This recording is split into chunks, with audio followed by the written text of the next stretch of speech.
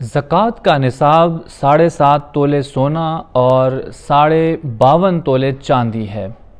अगर एक या दोनों चीज़ें इस मकदार में आपके पास हों या दोनों चीज़ें थोड़ी थोड़ी मकदार में हों, जिनकी कीमत साढ़े बावन तोले चांदी की कीमत के बराबर हो जाए, या तिजारत का सामान साढ़े बावन तोले चांदी की कीमत के बराबर हो जाए, या नकद रकम मौजूद हो तो आप साहिब निसाब हैं।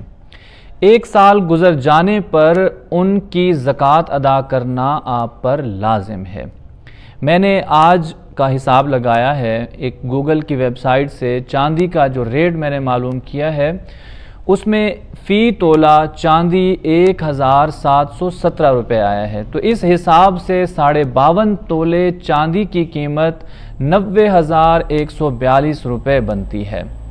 जिस किसी के पास भी मजकूरा रकम मौजूद हो, उस पर साल गुजर गया हो तो उस पर ज़क़़त फ़र्ज़ हो जाती है। ज़क़़त का हिसाब करने का ये तरीका है कि साल गुजर जाने पर जिस कदर सोना, चांदी, नकद रकम, सामान तिजारत आपके पास मौजूद हों, इन सब की कीमत लगाकर सबको इकट्ठा कर लें।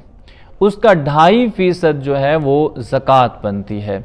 जिसे आप एक मर्तबा भी अदा कर सकते हैं।